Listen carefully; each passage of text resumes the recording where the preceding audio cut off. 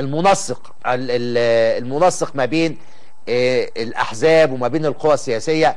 فنحن الآن بصدد ميلاد تكتل سياسي اسمه تنسيقية شباب الأحزاب. معايا على السكايب الدكتور محمد صابر الباحث فيه بيتكلم حوالين إن هناك عنده شيء مبشر جدا جدا ابتكار علمي لكورونا. أهلا وسهلا دكتور محمد. أهلا بحضرتك الطيب واهلا بالساده المشاهدين. أخبارك إيه؟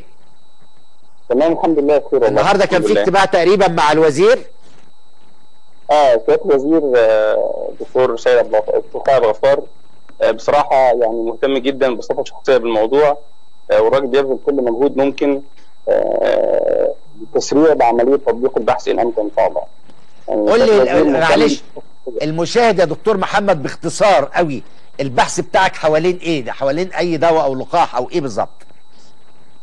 طيب هو إحنا مبدئيا آه، ما نقدرش نقول اسم ده آه، لل- للعامة لغير المتخصصين لعده أسباب منها إن طبعا ممكن يستخدم بطريقة خاطئة. آه، لازم الدواء يستخدم تحت اشراف طبي. جرعات طبعا بتختلف من مريض للتاني. الحاجة الثانية المهمة إن لازم يكون بعد موافقة من الجهات المختصه وده اللي بنسعى ليه. مش عايزين نفيد مريض أو اثنين أو ثلاثة عايزين نستوعب تعامل الجميع في حال ثبت إن ده العلاج الفعال إن شاء الله يعني. العلاج بصفة عامة آمن جدا. آه، مفيش دواء ملوش اثار جانبيه لكن بقول إن هو بنصنفه إن هو generally safe أو الادويه اللي عموما آمنة واثارها الجانبيه قليله. آه، طبعا لو طبقنا دواء آه، بهذا الأمان أو بهذا ال profile من الأمان مع مرض زي الكوفيد 19 آه، طبعا ممكن تمسك. الميكروفون تقربه شوية من بقك يا دكتور محمد أيوه قربه من بقك من فضلك لأن بيتحرك فعامل صوت فيه وش اتفضل يا فندم تمام الدواء إحنا ال- الفكرة بتاع البحث بدأت من حوالي سنتين. كنا عاملين بحث عن حاجة اسمها متلازمة فرط التنشيط آه، أو OHSS أنا شغال في مركز حقن المجهري آه، المجهري ممكن يحصل فيه مضاعفات آه، أهمها وأخطرها فرط التنشيط ده. بعض الحالات بتكون تعرض شديد وممكن يحصل حاجة اسمها ARDS أو متلازمة الضائقه التنفسيه الحاده ودي بالتحديد المشكلة اللي بنخاف منها في الكورونا يعني مريض الكورونا مفيش أي مشاكل آه، ممكن تصير إلا إذا جاله مشاكل في الرئة واتطورت ال ARDS طيب علاج ال ARDS إيه؟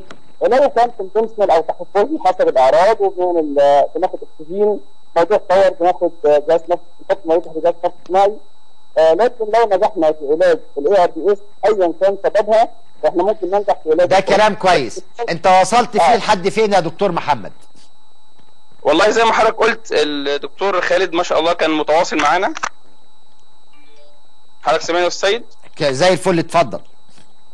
آه دكتور خالد آه، سيادة الوزير البحث العلمي كان متواصل معايا النهارده والراجل تواصل مع آه، دكتور أحمد طه رئيس شفاء جامعة القصر العيني آه، وقعدت مع دكتور أحمد طه. بصراحة الراجل تفاعل جدا واهتم مجرد ما عرف إن في احتماليه ان دواء يكون مفيد أو يكون فيه فاعلية. وقعدت معاه النهارده. والراجل آه، نسق لميعاد آه، مع الدكتور ياسر نصار.